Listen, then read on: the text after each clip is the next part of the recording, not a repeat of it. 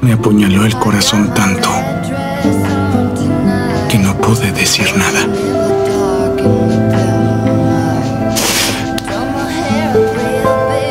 Pero me hice una promesa.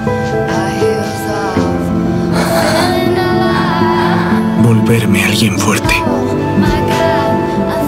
que pudiera mantenerle firme.